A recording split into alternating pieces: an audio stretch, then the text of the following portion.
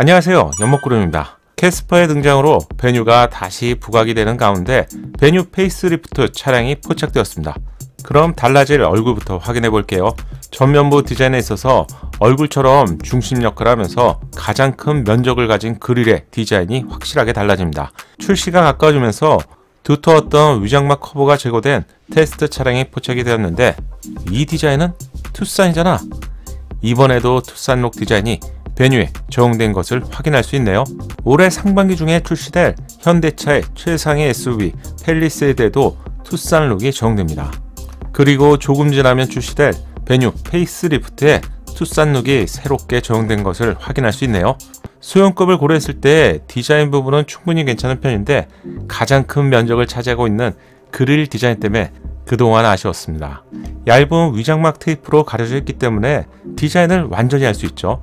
수직으로 떨어지는 과감한 느낌은 크기가 작은 소형 SUV 베뉴를 웅장하게 보이는 디자인이죠. 디자인의 완성도는 full change급 이상으로 크게 높아질 것 같네요.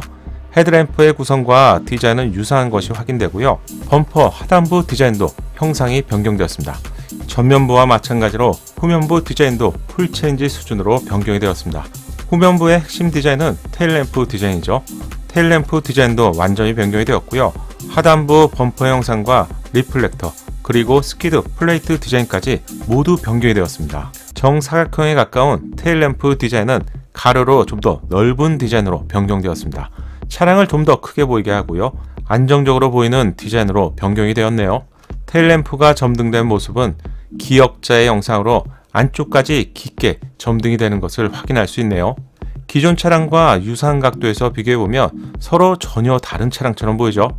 그래서 비교해봤는데 이렇게 동시에 비교해보면 많이 다른 느낌입니다. 귀여운 쪽은 기존 차량이고요. 날렵하면서 좀 더 세련된 느낌이 바로 facelift가 되겠네요. tail lamp 쪽 디자인을 좀 더 자세히 보면요. 안쪽으로 연결되는 얇은 선을 볼 수 있습니다.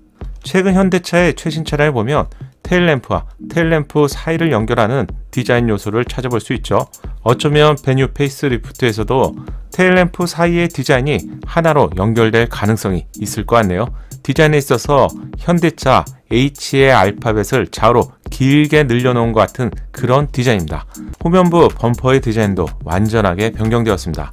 facelift에서는 각지고 좀 더 날카로운 디자인 요소를 찾아볼 수 있네요.